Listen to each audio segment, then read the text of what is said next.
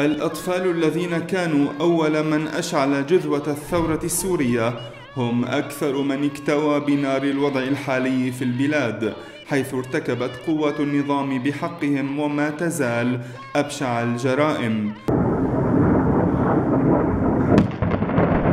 الشبكة السورية لحقوق الإنسان وثقت بالاسم والصورة مقتل أكثر من 17 ألف طفل على يد النظام منهم أكثر من مئة قضوا تحت التعذيب فيما اعتقل ما لا يقل عن تسعة آلاف وخمسمائة طفل وارتكب بحق العديد منهم عنفا جنسيا.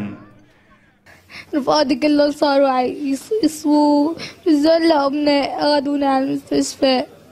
الله لا يوفقه. الجرحى كذلك بلغ عددهم حوالي ثلاثمائة ألف ونزح نحو أربعة ملايين وسبعمائة ألف طفل.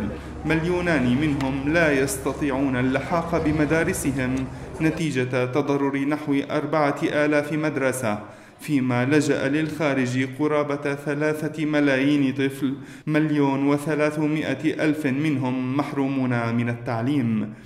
قوات النظام قامت بتجنيد مئات الأطفال في عمليات قتالية مباشرة وغير مباشرة. في حين يقدر عدد الأطفال الذين قتل النظام آباءهم أكثر من ثمانية عشر ألفا كما قتل أمهات حوالي خمسة آلاف طفل. الشبكة اتهمت أيضا تنظيم الدولة بقتل ما لا يقل عن 137 طفلا واعتقال ما لا يقل عن 455 آخرين وتجنيد المئات منهم. وختم التقرير كذلك باتهام فصائل أخرى بقتل 304 أطفال.